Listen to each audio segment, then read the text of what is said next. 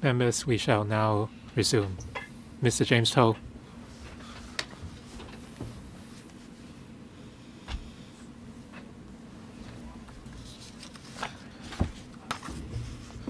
Chairman, we are looking at the um, conversion of a supernumerary post into a permanent one.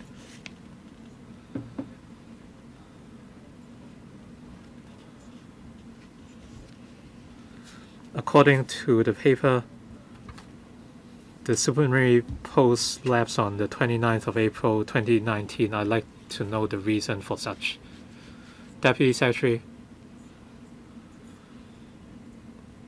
for the supernumerary post which lapsed on the 29th of April 2019, it was a three-year supernumerary post approved by LegCo in 2016. before the 29th of April 2019, we tabled this paper already, hoping to create a permanent post as soon as possible.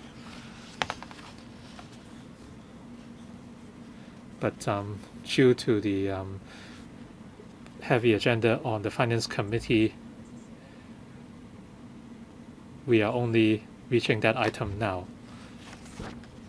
that post lapsed already, so it has been a year and a half. So in the meantime, um, who took up the work? During this period, other staff took up um, urgent areas of work, but this is not the long-term answer.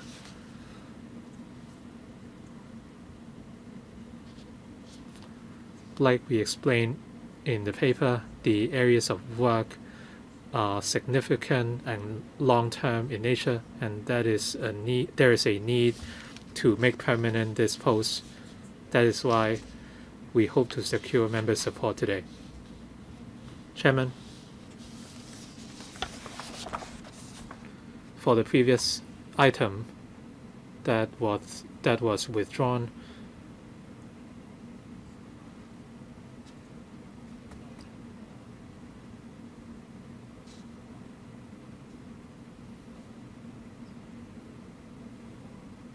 I said last week that um, when the economy was in good shape,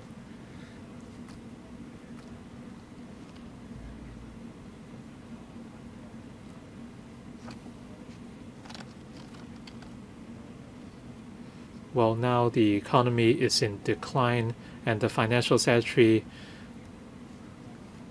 warned about difficult days ahead. And there are a lot of concerns from the government. So um, we can all see that the situation is not exactly great right now.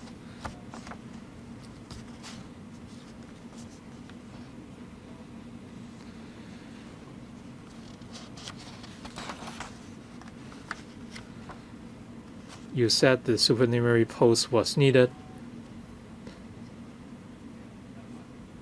but once a post is made permanent, it will never be cancelled. I have never seen that happening before. For supernumerary posts, um, you are um, competing for resources internally, and that goes for every bureau, not just yours.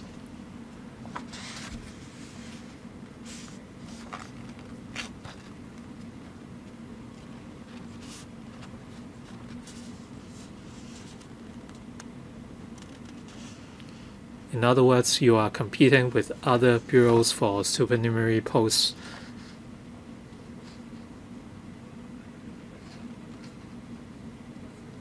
If you apply for another supernumerary post, there will be internal or, or there will be keen internal competition among different bureaus. But once you make a post permanent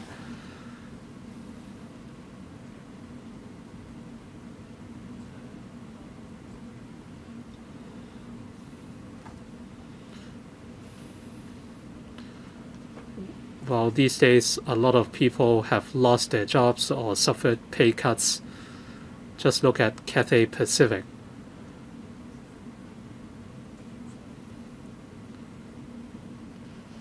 Like the previous paper, the Bureau should be more critical of the proposal and whether they have to make the post permanent. Please wait for the next round. Mr. Tony Tse. In considering whether to support the proposal of making a post permanent,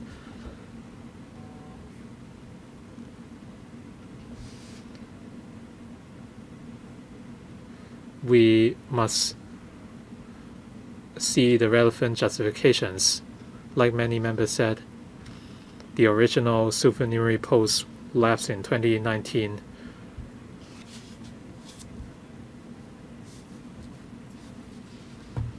So in the last year and a half, other staff took up the work, the extra work as a result. I like I'd like you to explain what happened in the last year and a half, what happened to the um, workload. Um, some things were out of your control, like the black clad violence and what happened at LegCo, as well as a backlog of items at LegCo.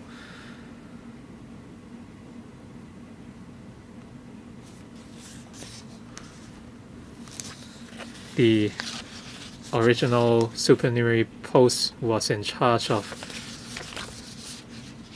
electricity reviews, and the same goes for this new post. So the title is somewhat misleading. People do not know whether um, the post holder will perform any functions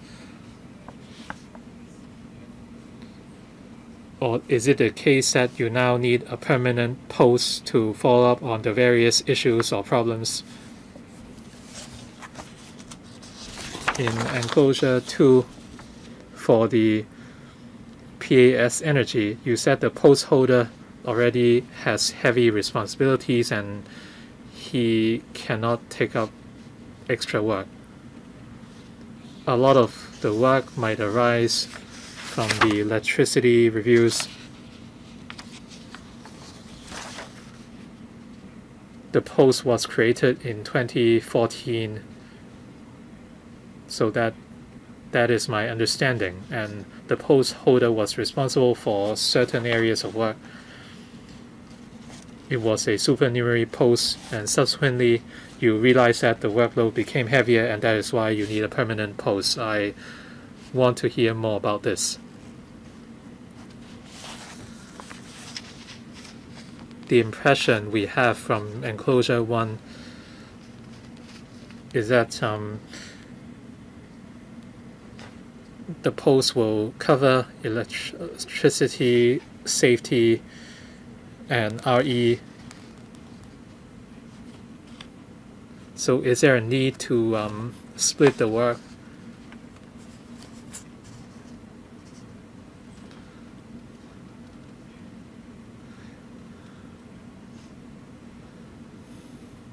The impression is that um, the new post would not have a very heavy workload when it comes to energy. Deputy Secretary, the title of the post is Electricity Reviews. Does it mean the post holder is only responsible for electricity reviews? Let me explain the context. This post was created in 2014. It was a two-year supernumerary post the duties were to review the electricity reviews and to prepare for the public engagement exercise in 2015. So at that time, the post was titled Electricity Reviews. When the post lapsed in 2016, with LegCo approval, it was extended for another three years and the title remained the same. the intention was to um, pursue the outcome of the um, public review, including negotiations of the post 2018 scheme of control agreements. Even though the title of the post did not change, the workload became heavier and the scope also changed. From 2016 till the new SCAs were signed,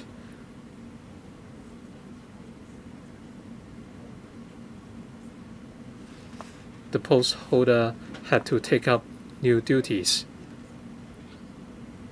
These include developing RE.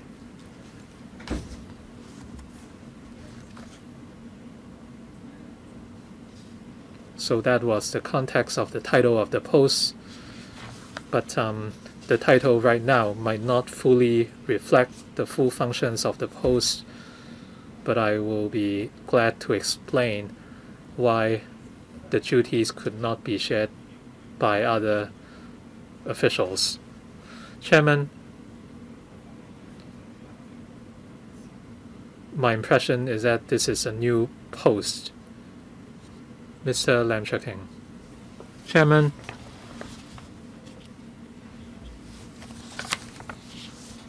the original supernumerary post had lapsed and now they want to create a permanent post. Some members ask why the government does not pro- or create a supernumerary post. I heard the justifications, but I'm not convinced.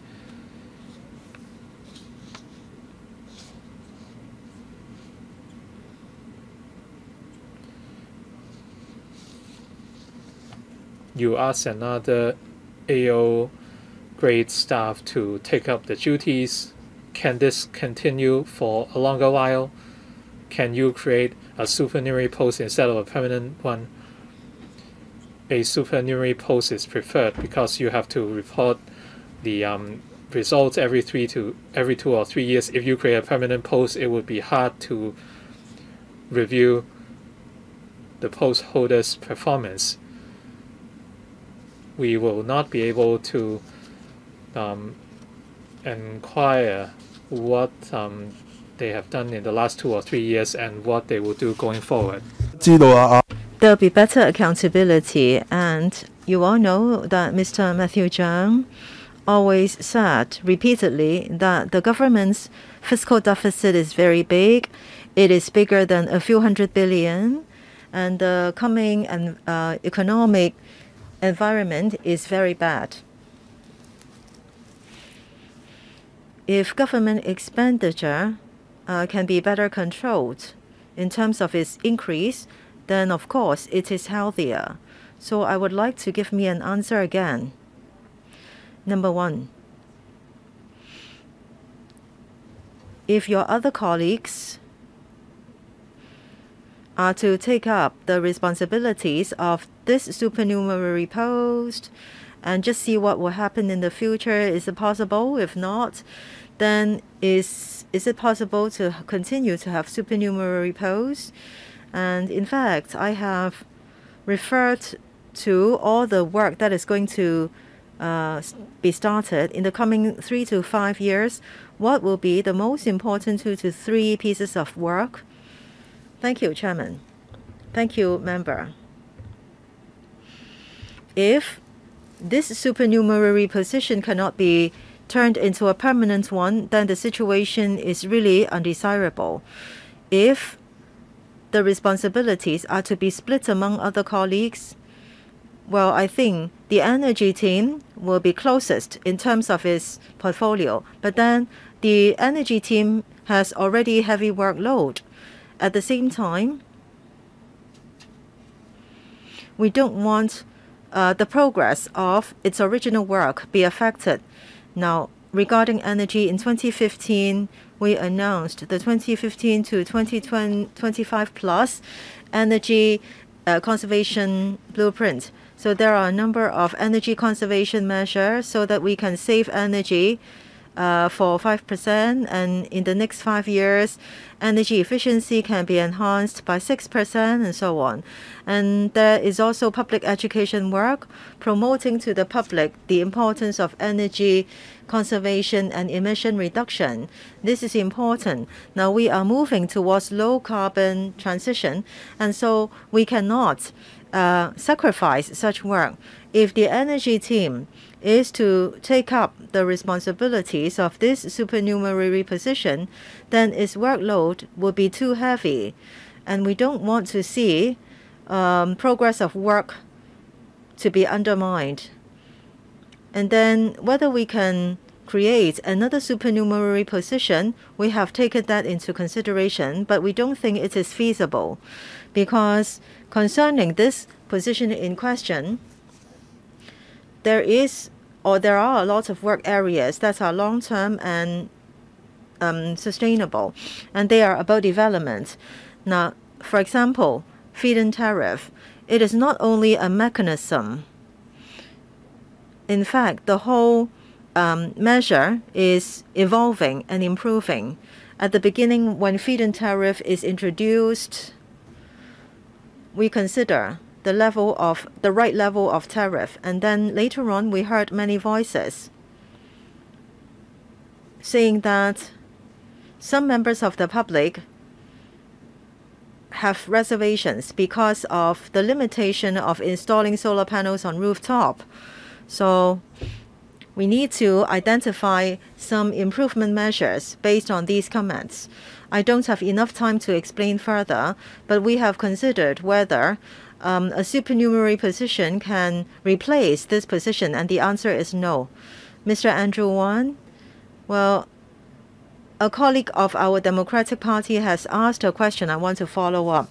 Para 9 talked about long, uh, large development of RE, and one point is to place floating uh, solar panels in reservoirs or photovoltaic system. In July this year, some engineering companies have applied for a 150,000 square feet of site in Kwan O, where 4,000 uh, solar panels can be installed. If that is really done, then in the future, concerning the large scale PV systems, well, they can uh, supply energy to 300 households okay you want to create position and you need to actively explore some uh, new developments. Uh, what is the progress of this kind of work now? Okay. Regarding large scale solar power or renewable energy power generation system. When you say large scale it is uh, being compared to distributed um, rooftop type solar panels. Now we have uh, examined the possibility of reservoirs, and some pilot pilot schemes have been done in Shek Pik uh, Reservoir and um, Plo uh, Plover Cove uh, Reservoir. And the schemes are successful. Some large scale panels can be placed, and we have encouraged the WSD to try it uh, in some of the 10 reservoirs to see whether solar panels can be um, installed or placed on top of reservoirs. Apart from WSD, uh, other government depa de departments also see some room for RE development. In Siu Ho Wan sewage uh, treatment plant, there is a big RE facility. And in some waste or refuse center, and also some um, recovered or rehabilitated um, landfills. Perhaps RE system can also be installed. Well, Chairman, since these policies are implemented already or finalized already, now um, we need implementation. And apart from these, will there be some new policies coming up? As Mr. Wu Chi-wai said, these are fixed already, and you also admitted that these will be done in the future. Now, for this new permanent position, just now, many pro establishment colleagues um, said that there is um, there don't seem to be some new projects, and can existing manpower take over the work? Right. Let me talk about the example of feed-in tariff. The policy uh, has received good response. We have received comments on how the policy can be improved. Some people are of the view that if solar panels are to be installed on rooftop of village houses, then the physical constraints uh, will be some deterring factors for uh, villagers. So because of that, we have relaxed the requirements about solar panels on rooftop, village house rooftop, and we have simplified the procedures. And later, we have received some other comments. If feed-in tariff can become an income, then will those people be considered operators? Will they need to apply for business registration certificates? Will they need to declare uh, the feed-in tariff as part of profits tax or, pro, uh, or profit taxable income? Well, Chairman, I know that uh, those are really some work. For example, my assistants who put up posters for me have also done some work. But is that work that important uh, that renders the need for a permanent uh, position? We are talking about a permanent PAS position. You understand my uh, analogy? Uh, your time is up. Uh, can you give a brief response? You should have four minutes. Any brief response from the administration? Chairman, I want to explain some policies have been launched, but there's the need for constant review and refinement. So after a policy is introduced, um, implementation is not the only work. Now, I think since uh, colleagues have asked so many questions, you have not given specific answers. Yes, you have answered, but you have not given direct, important points. So it seems that uh, the outcome won't be very uh, perfect. It, it will not be good. Mr. Kenneth Leung, uh, let me finish my questions. Since 2017, when you issued the Hong Kong Climate Action Outline 2030, well, you have set the goal of 3 or 4% of renewable energy by 2030. Well, has this target changed? If not, then I can't see any new work really. We are now in October 2020. So how uh, how many um, percentage points uh, do renewable energy account for in terms of the total power generation? In terms of development of electricity market, I think uh, your work is not very clearly delineated uh, from the Economic uh, Bureau. Now, when it comes to, for example, natural gas, if you look at liquefied uh, natural gas, and also the uh, floating storage um, uh, facility. What is the progress of its building? It has been five years already. Um, it is very helpful to emission reduction. However, if you are going to tell me that there hasn't been much progress, then I really doubt the reason why uh, we should approve uh, your proposal of creating this permanent position. Thank you, Chairman. Regarding development of RE in Hong Kong, well, it is true that there are constraints in our natural environment. If we use the existing technology to develop RE over a large scale, there are huge difficulties, and the potential is not high, only 3 to 4 percent.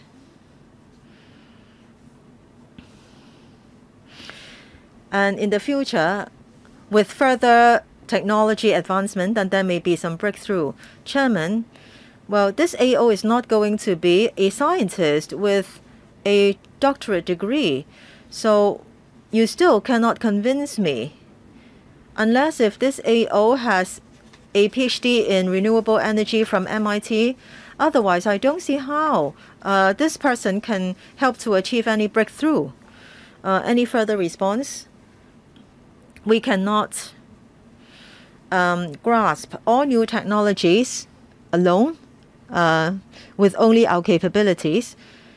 And we hope that we can explore some RE sources and technology together with further innovation and technology development. So in December, there will be 200 million low carbon green uh, scientific research fund, and we will invite some local research institutes and companies to apply for funding to do research on carbon reduction and green technology.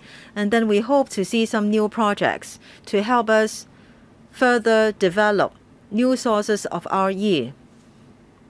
Besides, member asked about offshore uh, liquefied natural gas receiving station. This project um, is still underway, and it is expected that in Q4 this year, the two power companies will start the works. In first quarter of 2022, 2022, yes, um, it should be completed. Then what about your division of labor uh, with the Economic Bureau? Right now, energy policy is within the portfolio of Environment Bureau. So for these, uh, for the liquefied natural gas receiving station, um, it is uh, to be monitored by the Environment, Environment Bureau. Mr. Shiu Ka-fai, uh, five minutes. Chairman Chen said the chances will be very slim for your proposal. So in order to support what the chairman said, let me tell you in advance that I'm going to vote down on your proposal. Okay? Mr. Mok Nai Kwong, well, if uh, more members express their stance like what Shiu Ka-fai did, then uh, this item can be withdrawn. Well, just now I was upstairs and I watched the television. Many colleagues challenged the necessity of permanent posts or actually a supernumerary position suffices. I would not repeat others already said. You said this post would be responsible for promoting RE.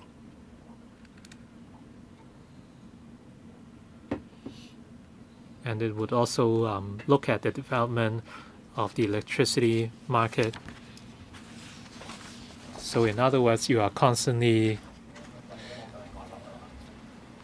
conducting studies without any execution. For RE, you talked about the Hong Kong situation and the lack of RE potential. If that's the case, um, what more do you have to study?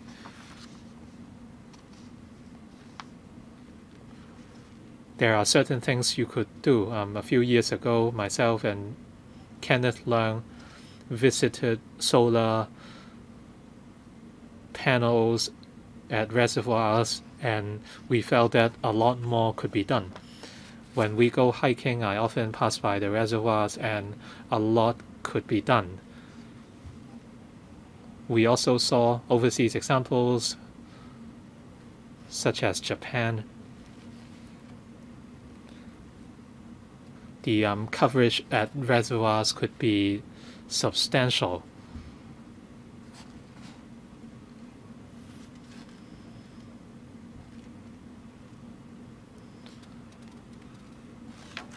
We have not seen anything new in this regard in recent years.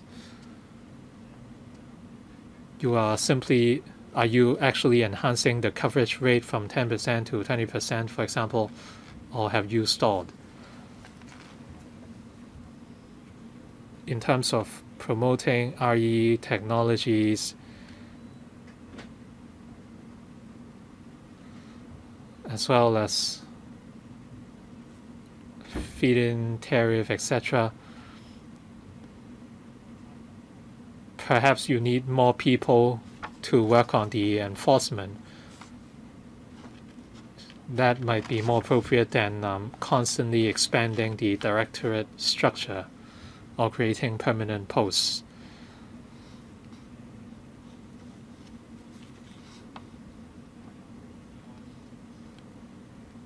Are you placing the wrong focus when it comes to manpower? And um, that led to a failure in enforcing the policies.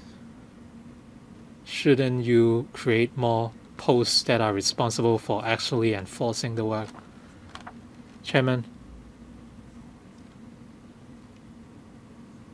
the Environment Bureau provides policy steer in developing RE.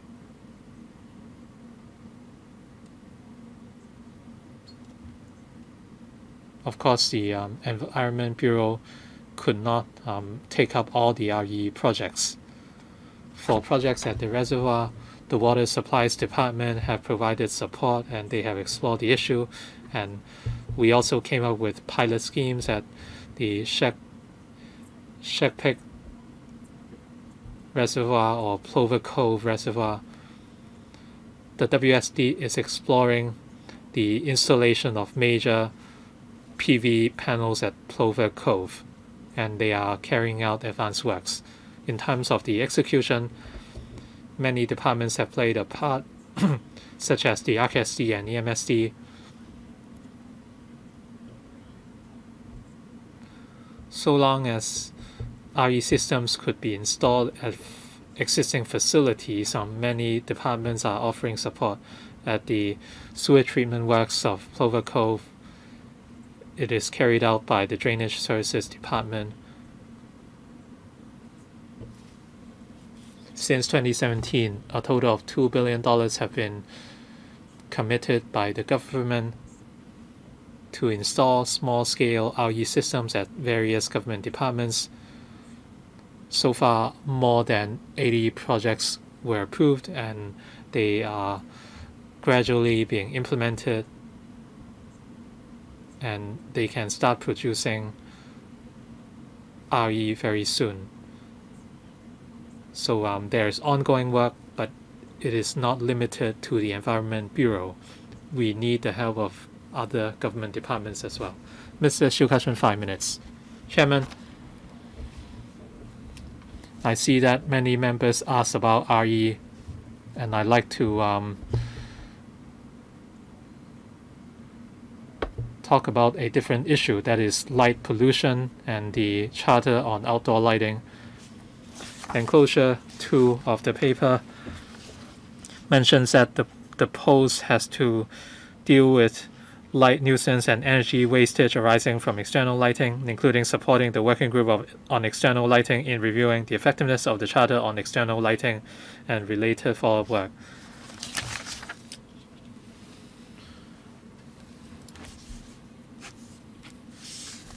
Um, I heard a lot of complaints about the charter, citing its ineffectiveness. And like many charters, the, the, this charter is voluntary in nature. Some 5,000 units signed up for the charter, but among those, some of the participants don't even have any external lighting. As for organizations creating a lot of light nuisance, they did not sign the charter. So um, the 5,000 strong um, participation is somewhat misleading. Even for those who signed the charter, sometimes what they are doing goes against it. For instance, after 12 midnight, shops continue to leave the lighting on. For shops along Sai Yeung Choi Street north, um, all the lights remain on even after midnight. The NGOs demanded legislation to mandate shops to switch off all external lighting after midnight. And paragraph 21 of the paper mentioned the fact that the ENB would commission a study very soon to understand views towards external lighting before considering the way forward, including possible legislation against external lighting nuisance. I have a question for the DS. If this post is made permanent, would the legislative work be aided?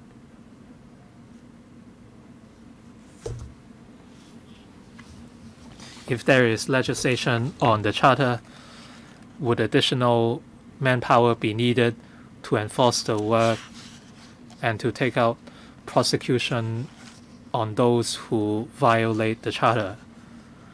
So this is about the binding power of the charter. It's voluntary in nature. How can the government require more parties to sign the charter? I hope you can address these questions. Well, Mr. Sugar said, um, well, even if the Liberal Party is against the proposal, perhaps you would know the outcome of this funding proposal already, but I hope you can tell me more about issues on external lighting. Thank you very much.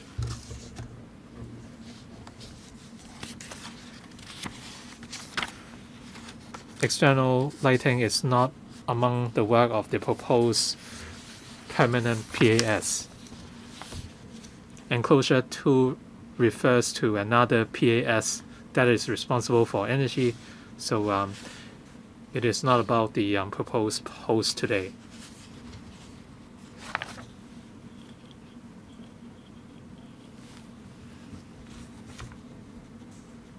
We are indeed conducting a review on external lighting. We appointed a working group to carry out various reviews, including overseas experience on managing external lighting. And they would also assess the problems in Hong Kong and the types of lighting that is causing the most nuisance and how can the charter be improved the working group is conducting a series of studies. Once results are available, we would explore the way forward. Perhaps um, the PAS energy can add more. Mr. Wong, I'm happy to report the work progress.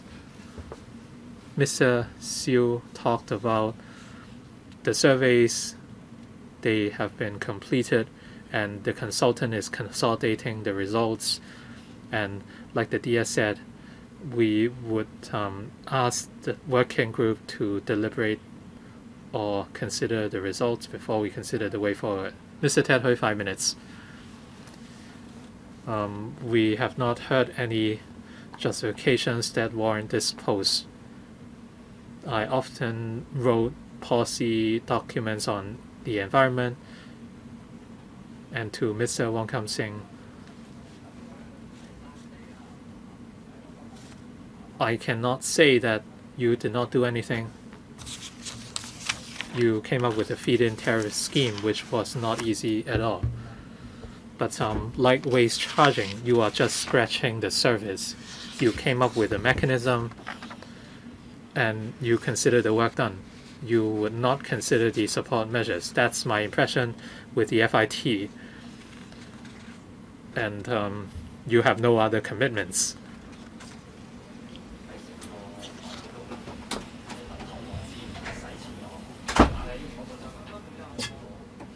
How much resources are you committing on RE apart from the $1 billion funding? this is a very specific question. What are the what other financial commitments have you offered? And like I um, asked already during panel meetings, you would not even commit to RE development targets in Hong Kong. You simply talk about potential, which shows no commitment at all. If you are committed, you must have specific targets and then we would agree to this post. You refuse to give us even um, any commitments, and you are trying to create this post. There are no commitments, no objectives. This is unacceptable.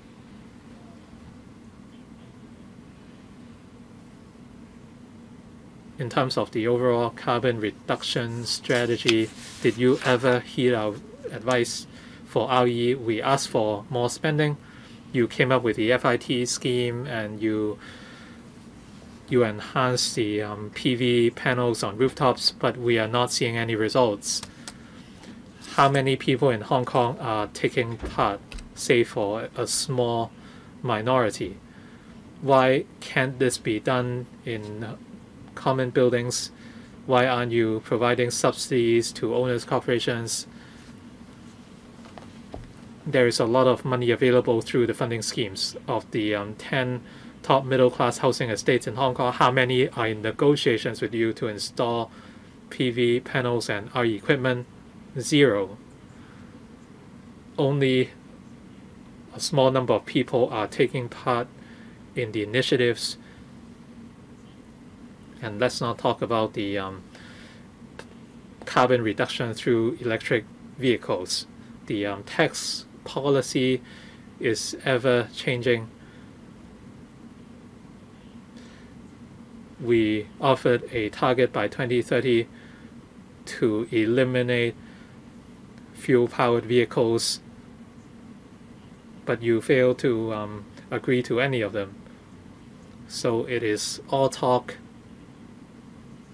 and no substance. It is hard for us to support your proposal. Can you commit to any projects and how much would you invest in the infrastructure? Deputy Secretary.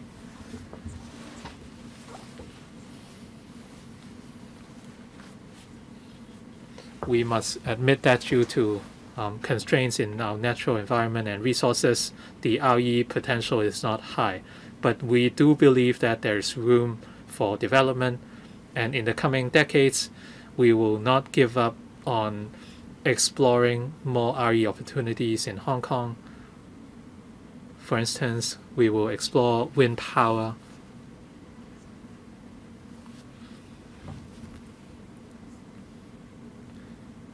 Can we introduce green hydrogen power, which could aid carbon reduction. And this explains why we need to create this permanent post now.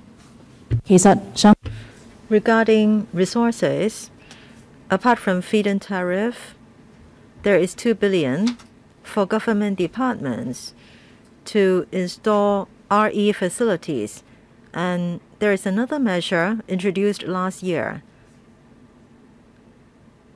and that is a scheme to install solar panels for schools and social welfare organizations for free so that they can join the feed-in tariff scheme at the same time. Uh, there is also education and demonstration effect. So this uh, these are examples of government's resources and investment into RE. Mr. Wu Chi-wai, thank you, Chairman. I think that the Deputy Secretary is a very um, peculiar, peculiar person. She said that the potential of RE in Hong Kong is very small, but she will not uh, give up the opportunity.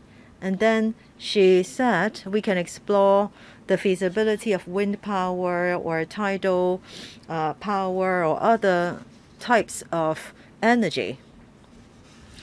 Well, these so-called energies are mature technologies which are already available in other countries. It is not the question of whether these technologies exist. The point is, if you want them, you need to invest a lot of capital into it. So what does the government want to do? If you have this position and then you then think of the financing model, well, I will feel better if the position is a supernumerary one. However, if you are saying that within the coming decades, few decades, you will not give up the work, well, we may be talking about something that cannot really achieved uh, we will not allow a permanent position just for the sake of not letting you um, give up.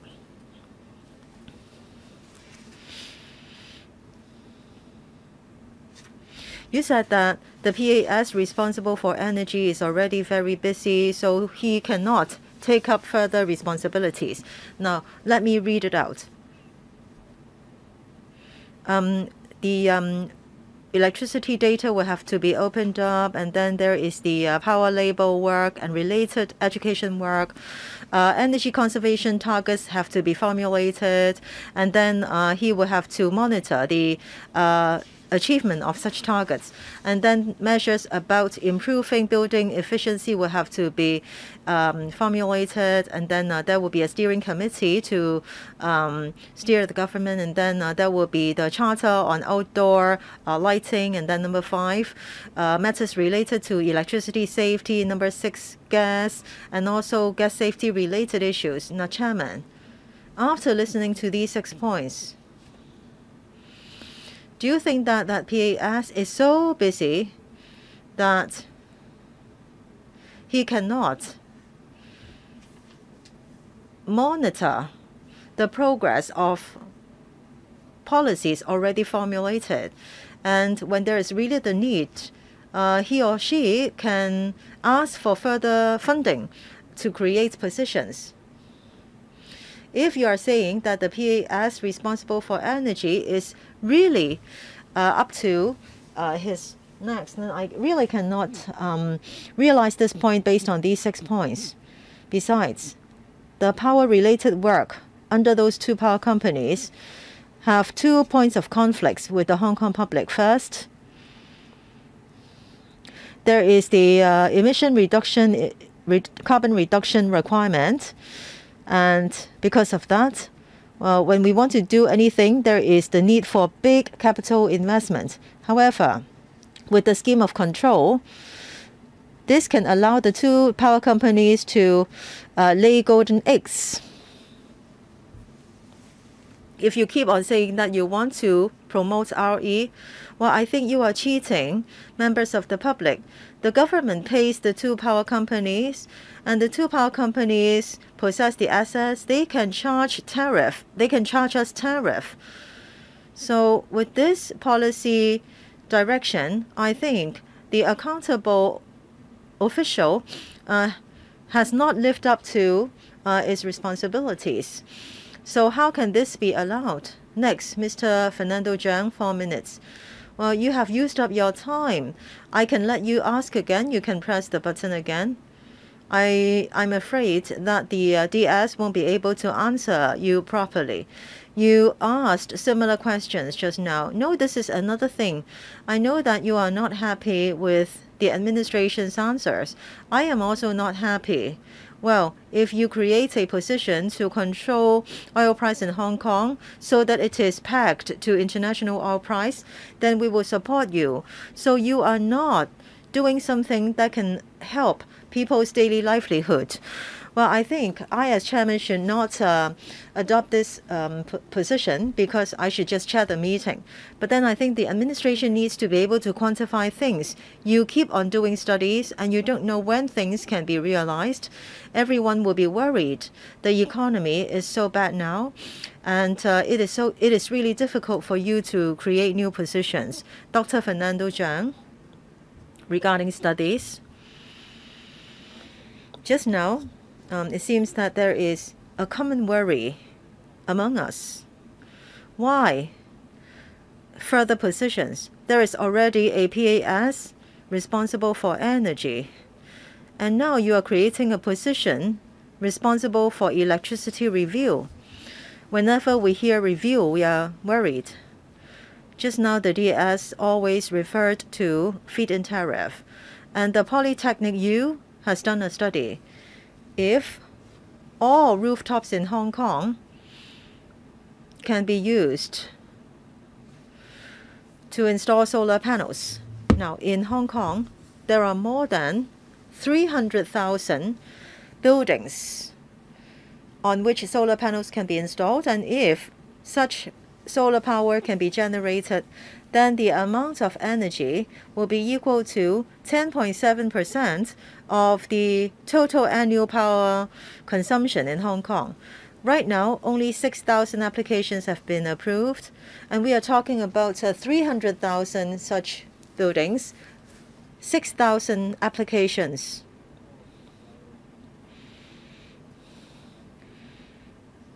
Based on the uh, ultimate use data 2020, solar power only accounts for 2% of renewable energy.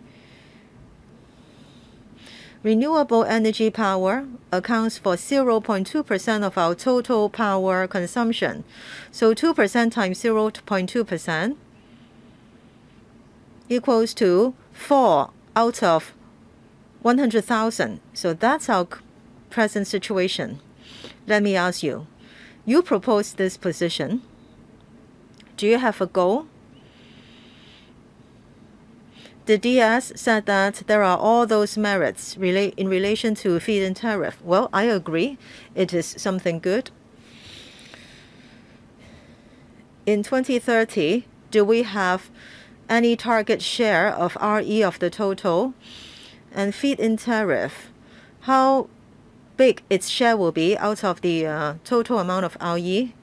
DS, some time ago, when we studied the potential of RE based on existing technology or based on the then technology, wind power, solar power, um, waste to energy. Well, if renewable energy is generated by these three methods, by 2030, I think only 3 to 4% of the total power consumption in Hong Kong will be from RE. So we want to explore more types of RE, such as wind power. Dr. Cheung, you talked about the potential of installing solar panels on rooftops in Hong Kong.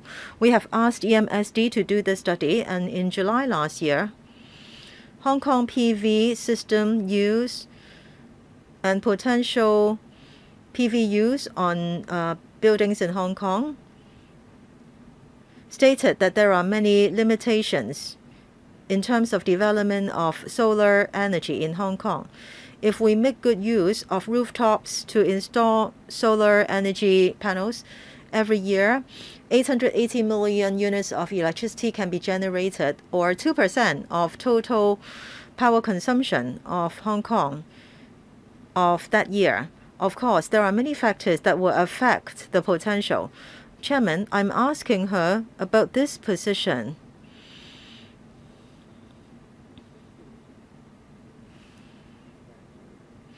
Okay, um, can you briefly supplement? Apart from development of RE, just now I explained why we need a long-term and permanent position to promote this policy. And I explained that after a policy is formulated, that's not the end of the story. There's the need for further e evolution and refinement. Now, this position is not only about renewable energy. The position holder will be responsible for the two midterm reviews during the SOC period. The first one um, will happen in 2023. So that's why there is some urgent need for this position. Mr. Leung Yiu-chung, four minutes. Chairman, just now the DS answered Dr. Fernando Cheung's question about RE development. For instance, solar energy. Even if all buildings can be utilized. The effect cannot be more than 10%. And we are only talking about a few percentage points in terms of share of the total. So, as I said just now, this permanent position proposed will be responsible for the uh, development of electricity market and also number two, development of RE. We are not against developments of RE. However, it only accounts for a small share of total power consumption. Now, if you develop um, towards that direction,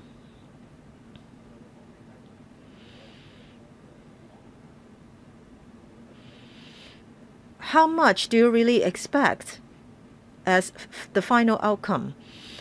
If you keep on doing studies and if there is not a target, it's not meaningful. So, how much do you expect? What will be considered desirable by you? I asked you also about the future development of the electricity market. You talked about the feed-in tariff. You said that a few uh, 10 odd thousand households have got approval.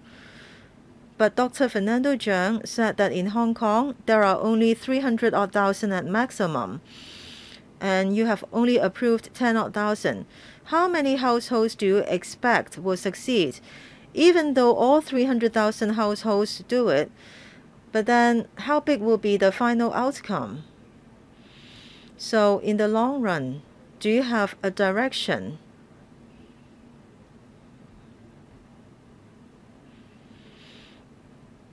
On how to achieve the carbon reduction goal. How effective will it be? I think you need to have a target without a target, if you just keep on telling us that you are doing the work, there is some development potential, well, it is empty. It is useless. I joined the LegCo in 1995. Up till now, it seems that there hasn't been any progress. We are at a standstill. You have to give us some assurance that there are some uh, very concrete directions. DS, regarding RE, technology keeps on advancing. In the past, solar panels were expensive investments. In recent years, the price has come down, so more people have participated in solar power generation. In the future, with technology development, we hope to see more potential in Hong Kong, we may not be able to generate a lot of RE. However, now in other countries, uh, there are references to green hydrogen or ammonia. So in the future, can we import such clean energies? We have to consider these and monitor the development so that Hong Kong may have the conditions to increase the share of renewable energy and clean energy in our fuel mix. 好，下一位咧就系啊 Next, Ms. Claudia Mo, four minutes. Thank you. Chairman, um, I seldom share the same views as you, but this item is an exception. We are talking about layoffs and un- unemployed people these days. But according to the paper, um, well, they talked about the 2030 carbon reduction target. They were even talking about 2050 when a lot of people don't even know how they can survive this year. The timing is just horrible. The timing talked about timely relaxation, the installation of PV panels in buildings, the waiver of business registration fees and profits taxes, etc. So um, these are really trivial measures. Is the post really that important?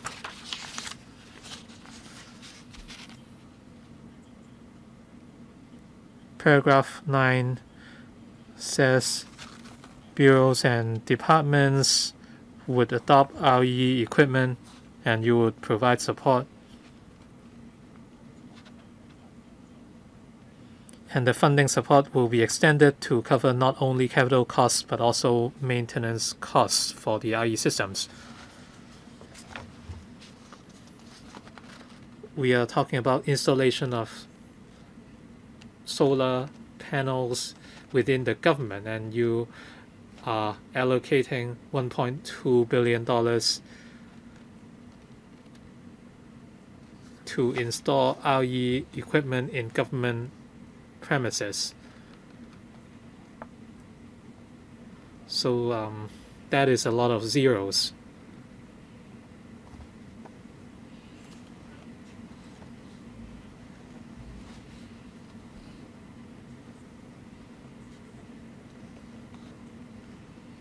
And you are and this is just a small scale deployment of RE equipment at government premises. What about the bigger projects, that is installation at reservoirs,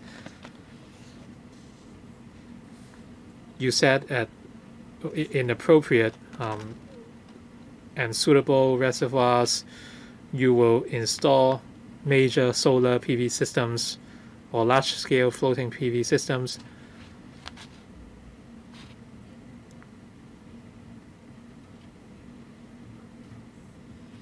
If an internal project costs a billion dollars, what would the installation in the reservoirs cost? Can you provide any financial forecasts? These are projects that are being planned. I do not have the full figures on hand.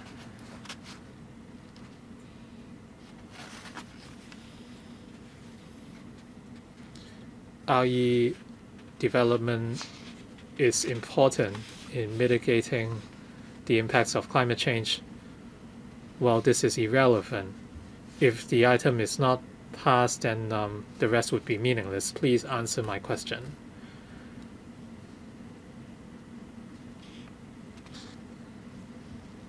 If we are to achieve carbon reduction for Hong Kong, we must invest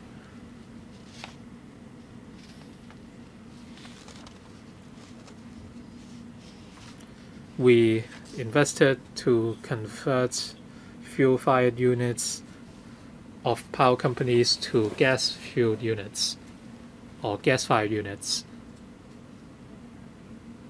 Please wait for the next round. Mr. Jeremy Tam, five minutes. Chairman.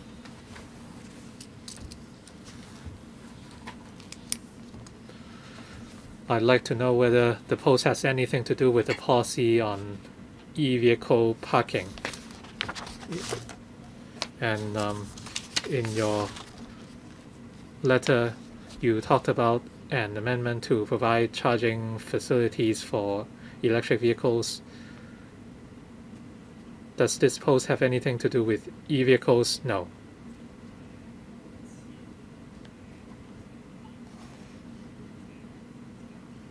What about charging facilities for e-vehicles? Is this irrelevant to the post? Correct.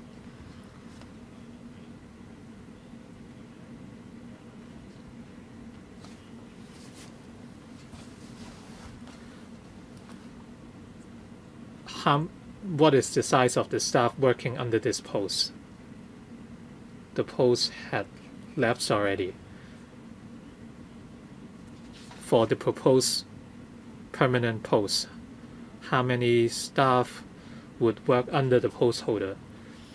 If the post could be created, there will be three non-directorate staff in the team. Can you tell us what those posts are?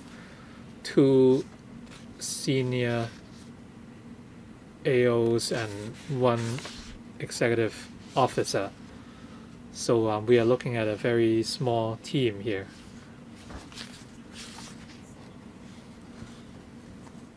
So three staff would work under this D2 post.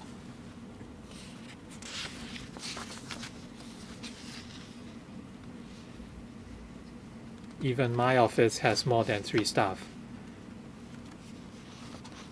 The Environment Bureau is responsible for environment policies. So um, we are working with a streamlined hierarchy these three non-directorate staff would provide support, but we do need a directorate post to head such areas of work. For the two midterm reviews on the power companies, the work is highly complex. At the last midterm review in 2013, the review took almost two years since we had to um, listen to the views of experts, stakeholders, etc. And a lot of work involved legal, financial, technical aspects, and a lot of negotiations were required, and these require the input of directorate staff. So we have strived to streamline our team while getting the work done.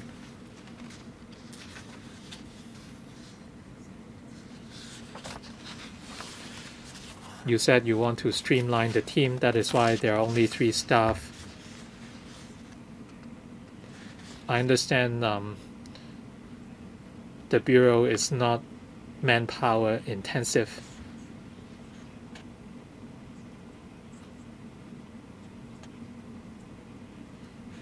If this post is to be created within the EPD, perhaps um, we will be looking at um, a team with a hundred staff. But now we are looking at a very small team with three staff. Is this post still necessary? you want to create a directorate post, but it's um, is a directorate um, staff really necessary? This is a question mark. You talked about the um, targets and goals, but can they actually be met? I have my doubts when I look at the establishment.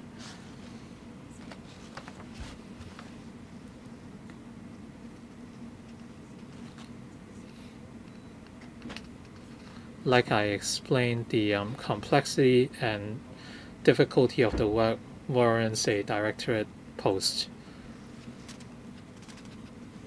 We considered carefully whether we need this supernumerary post, and we considered whether the grade and rank are appropriate. We also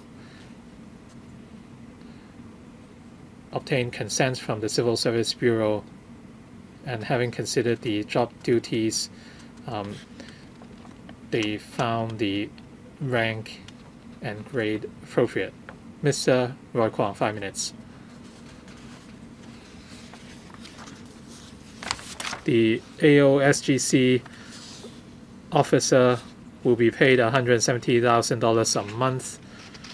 Um, I don't think um, you can win enough votes. And um, the pro-establishment camp was upset by Carrie Lam's decision over the $2 concessionary fare. Well, I hope um, the Lantau Tomorrow Vision item would be withdrawn as well.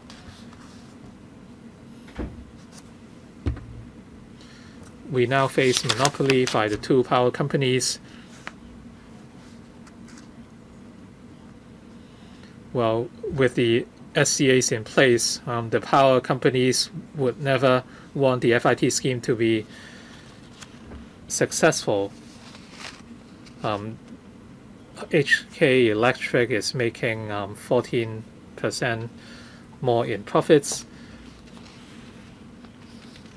And um, they are only offering meager concessions to users, I think the um, the best approach would be to slash the power tariffs. The SCAs in effect are protecting the two power companies, and um, of course they would want to purchase assets. Um, CLP will um, invest substantially in fossil fuels, it shows that they are not interested in developing RE.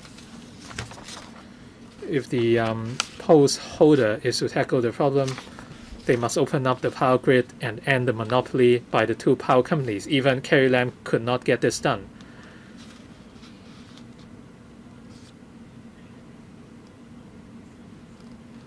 To tackle the problems mentioned in the paper, we must have a very clear strategy.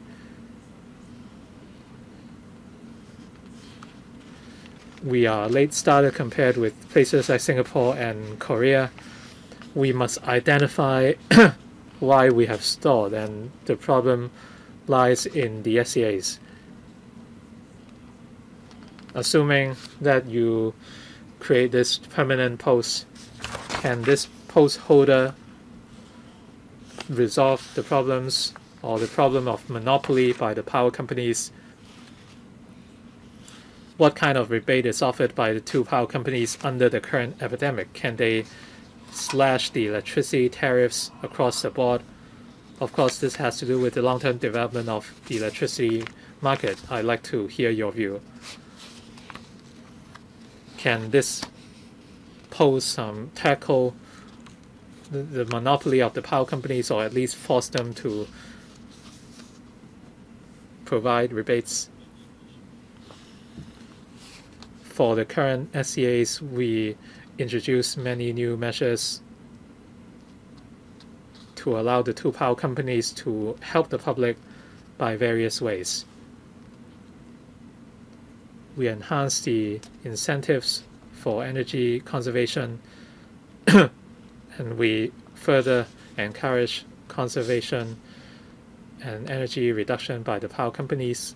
We also introduced the FIT scheme and the RE certification scheme. We are promoting distributed RE development in the community. And under the current SCAs, the pricing provisions for fuels have been adjusted and we have introduced new performance indicators for electricity supply.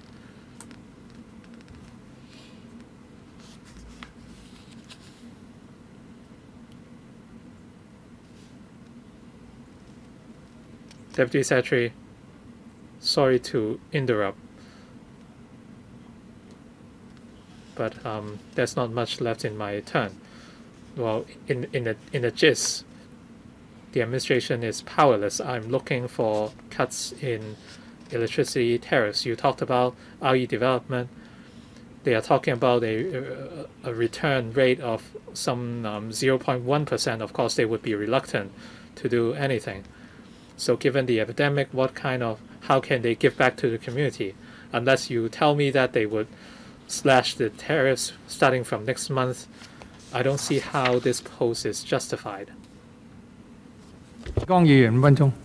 Mr. Wang Tengquang, five minutes. Thank you, Chairman. The Environment Bureau proposes to create this position. After reading the paper, I believe many colleagues are puzzled.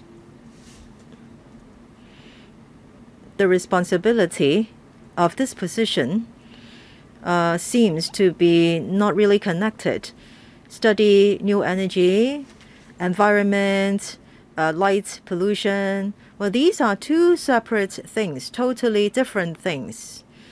For new energy and light pollution, uh, these are being worked on.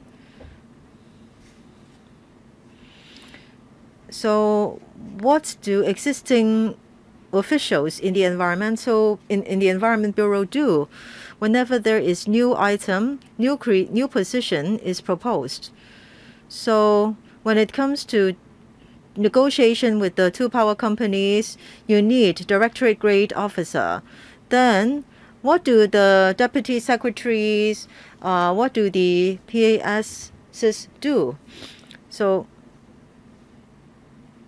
in relation to the governance of the government, when the Bureau needs to work on technology, regulation, funding, implementation, coordination, uh, control and regulation, and so on, I don't really understand what this position is supposed to do. There should be more concrete points. When we manage a company, if we want to create a position, there is the need for clear job responsibilities. Now, the responsibilities you, you have stated are not related to one another. Many colleagues referred to solar panels. Actually, I have some painful experience. Regarding installation of solar panels, we have to go through a number of departments. First, your bureau, your department, and then there is the buildings ordinance, and then uh, fire safety issues. After all these, I cannot consume the electricity directly. The power has to be acquired or bought by CLP. And then there is the need for a lot of discussion. So after many years already, still the matter is not finalized. Now, I think the government needs to be very clear in creating new positions. There is one thing very scary that is, when positions are created, at the end of the day, you uh, commission consultants companies to do the work, and that entails further expenses. So I think you really need to give very clear explanation if you want to create positions. You should not just um, squeeze a lot of points into a paper for us. We feel very puzzled. I think you need to reorganize your paper and give us a very clear cut account. DS, any response? Thank you, uh, member, for the comment. Regarding outdoor lights, as such as now, the PAS of the energy team is responsible for that. So it is not a function of uh, this position in question.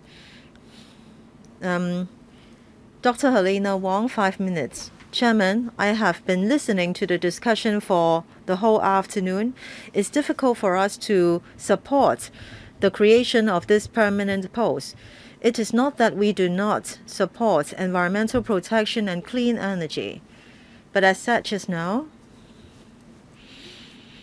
you said you are going to re, uh, to follow up renewable energy and light pollution in my fifth term as electrical member, well, I already said that there is no law, and if there is only a charter, no one will pay attention.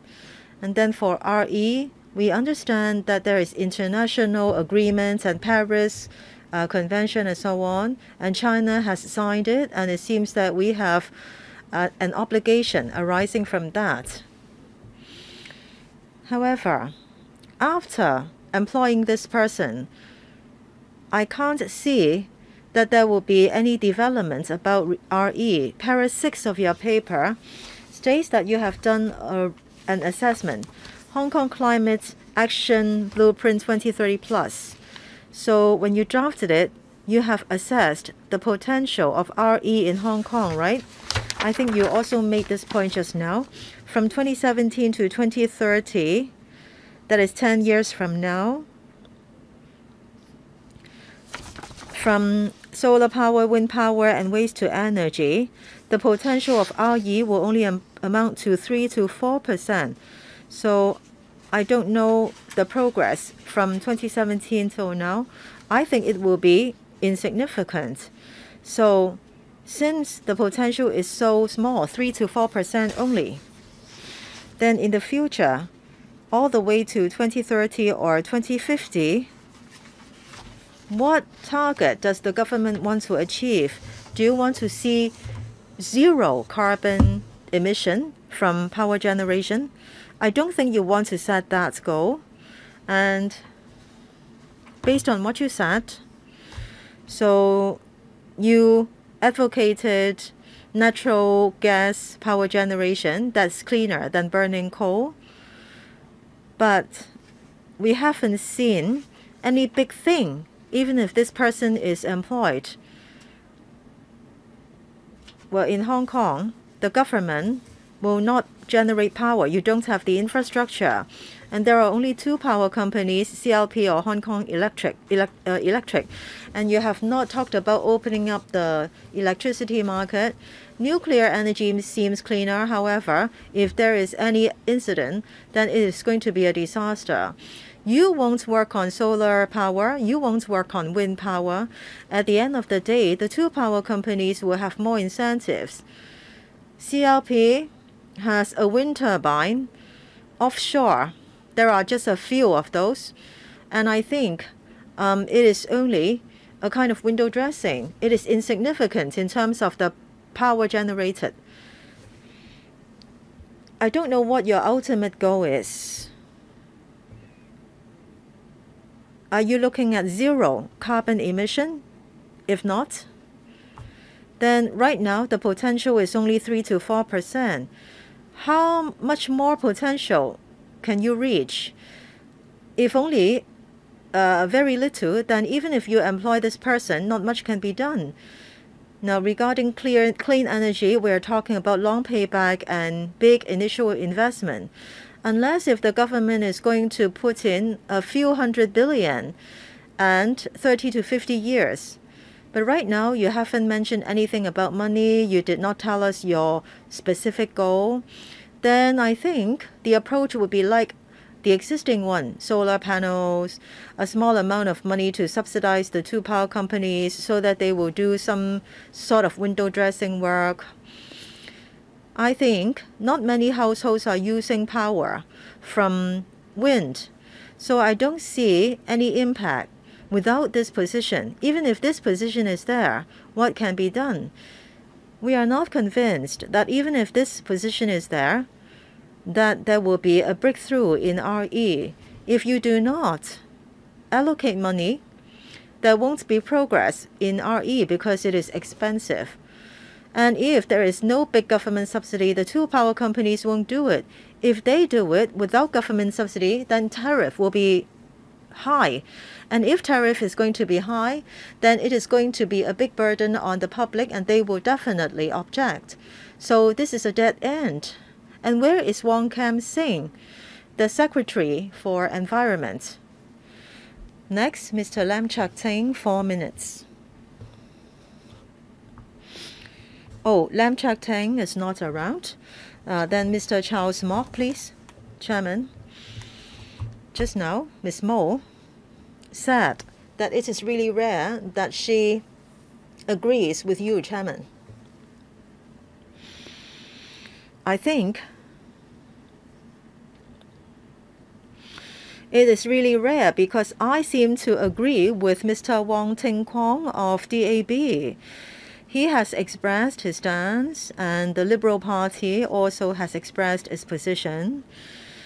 This time, I think the DS really has a difficult time. Last time I asked some questions, she gave detailed answers. In fact, I have heard two major issues. First, you kept on saying that RE only has small potential. Some colleagues said, since the potential is so small, then what's the point of doing it? Well, is it really small? I mean, the potential, is it really small? If you ask consultants to do a study, well, there will be a preconceived answer, usually. Dr. Fernando Cheung said that some other universities have done other studies. The potential seems not small. There are quite satisfactory outcomes. For example, on rooftops, if, if solar panels can be installed on all rooftops, then of course we need strong execution capability. So the potential may not be small. I think the consultant is telling you that potential is small with a lot of assumptions. And sometimes when the government hires consultants, well, they are not really trying to do something big. They just expect the consultant to tell the Hong Kong public that it is not feasible. Then less work will need to be done. I think there are more problems about execution. You said that different departments are responsible for different things. I heard you mention WSD, EMSD,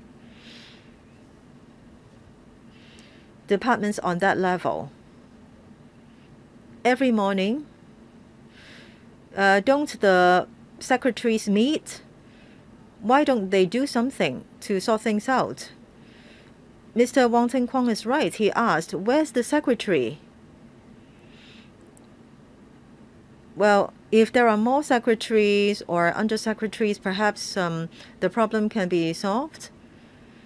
Um, well, of course, I am not saying that there should be more secretaries, but then uh, is it is it true that there are not enough people for implementation? If you keep on creating new positions and if you keep on doing more studies, the problems the problem can't be solved. You need to communicate with the WSD and EMSD, but why not the Secretary for Development? Your secretary can talk to the Secretary for Development, then you can go ahead. You don't need to create any position.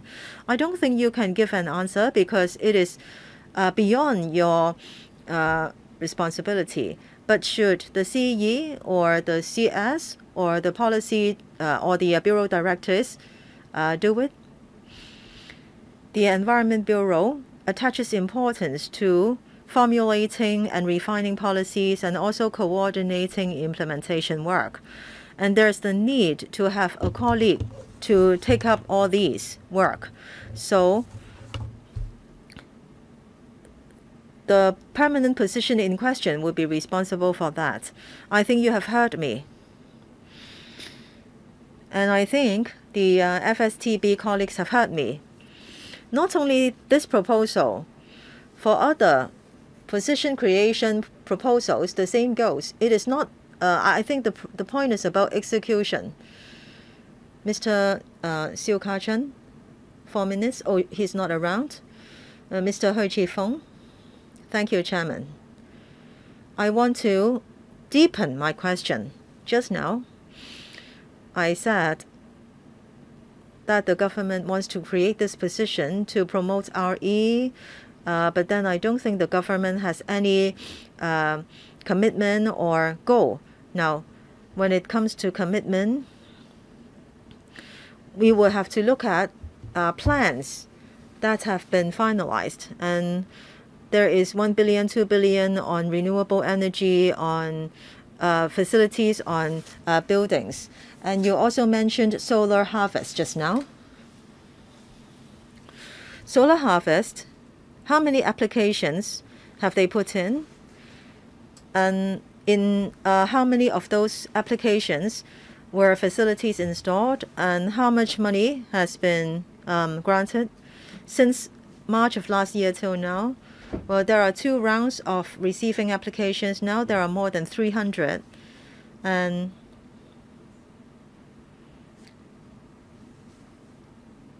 in 88 of those cases, the facilities were completed, and in 40 of them, uh, there is already feed-in tariff. So in the coming years, we'll continue our works on solar harvest, and we'll continue to receive applications. In terms of RE, we can share the figures after the meeting. Please provide the numbers in writing.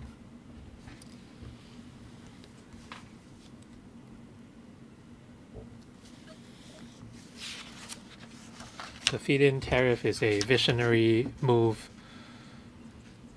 but in terms of the ex actual execution, you have not reached out to a lot of people. Only about um, some 300 participants joined over the past year.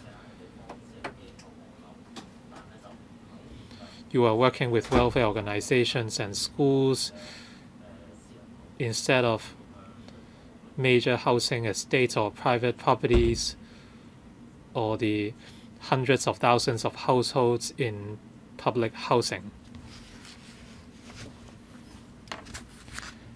In terms of FIT connections, um, what is the number of applications so far and the number of connections made already to the power grid?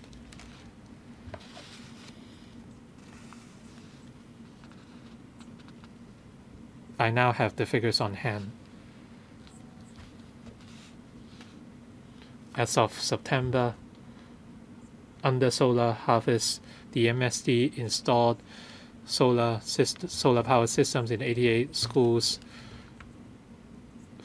and some 30 systems have been connected to the grid, and 46 are pending installation.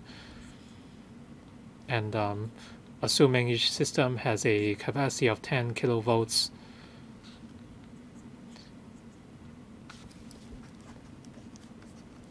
a total of 17.2 megawatts have been created. And in 2019 to 20, and in the expenditure was some 11 million, and um, in 2020 to 21, the expected expenditure is about 67 million. So that is why I said the um, coverage is very low. You are spending more than 10 million dollars. You have a budget of 60, some 60 million dollars. So the um, current coverage is, is extremely low, and it does not um, contribute to the overall power mix or fuel mix. Mr. Jeremy Tam, thank you.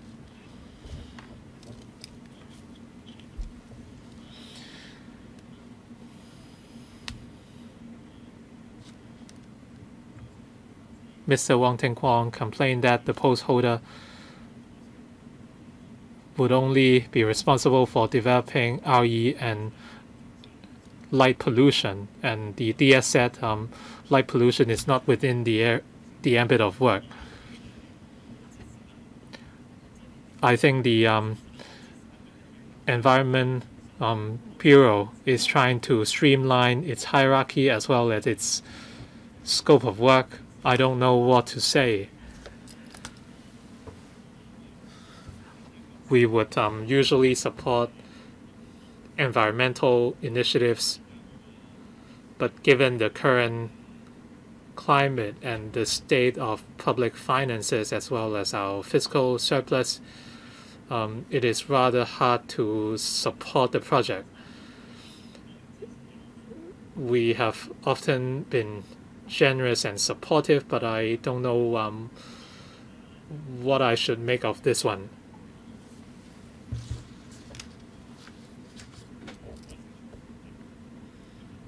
The work is currently taken up by the official responsible for the energy division.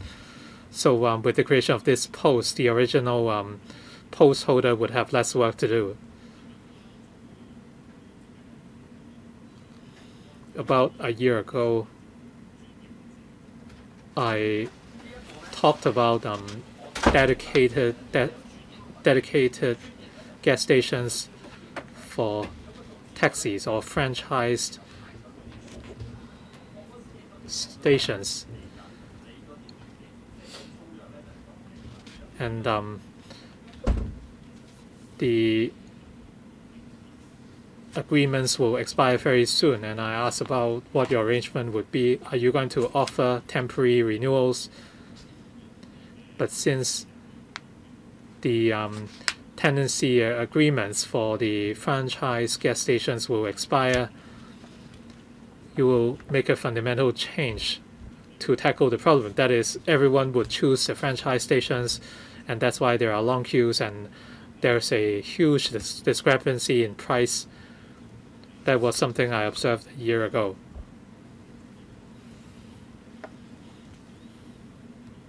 And this has to do with the um, the post who is in charge of electricity reviews. Perhaps you are going to extend the post by 10 years later.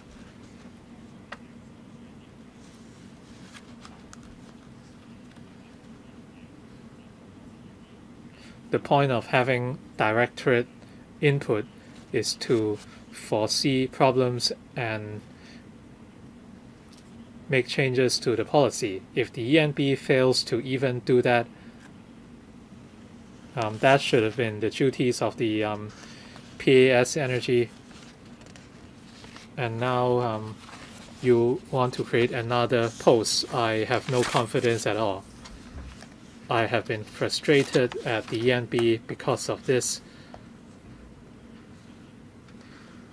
This is a great chance to change the um, use of the sites and but you are not doing anything. I think you would simply extend the um, sites by another 10 years. Um, dedicated gas stations are not um, taken up by the Energy Division or Electricity Reviews Division. It is responsible by the Air Quality section. The time is close to 7. We would call it a day after Professor Joseph Lee speaks 5 minutes. I have been following the discussion.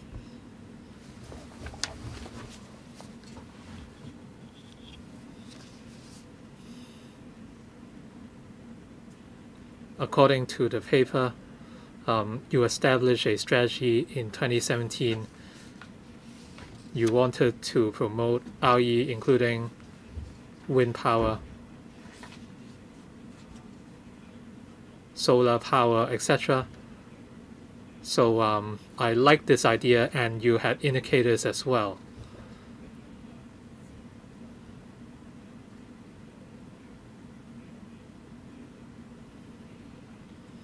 The paper um, included work in um, public facilities, and um, you you plan to meet the goal of um, having a few percent of RE in the fuel mix by 2033. the HA has some 40 hospitals. How can something be done?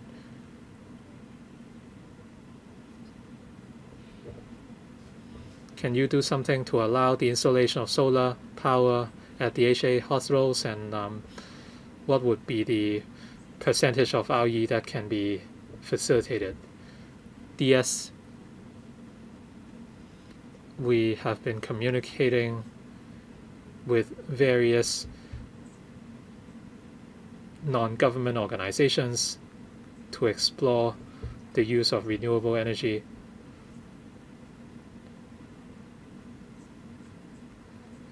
for the housing authority they had a policy since 10 years ago to install RE facilities in public housing estates to supply about 1.5% of the electricity.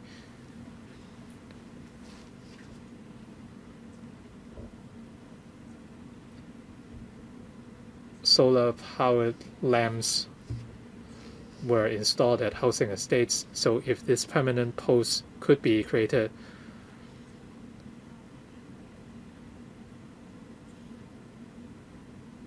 the post holder will continue to promote the application and development of RE within the government and with NGOs, and they would um, continue to lobby for their support. Thank you very much. I asked about the hospital authority, but the DS talked about another HA, that is a housing authority, which is responsible for matching public housing estates.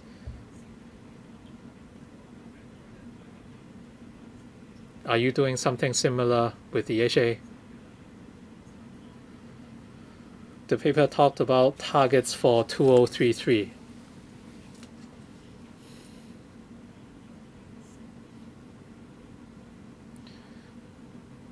What proportion of public housing estates are using solar power? And could this um, help reduce the electricity tariffs for public housing tenants? Thank you. DS for public rental housing estates. Um, the use of RE systems is mainly for communal facilities rather than in the households. For the hospital authority, we can, we will consider discussing the issue with them, but since this supernumerary post had lapsed last April, um, we could now deal with the most imminent work in terms of touching base with various organizations. With the creation of a permanent post, we hope to step up the efforts. I welcome such view. In other words, with the creation of this post, can something be done with both HAs can you show us concrete numbers on um, what proportion of power could be um, created through solar energy? I hope some figures and um, details could be offered. DS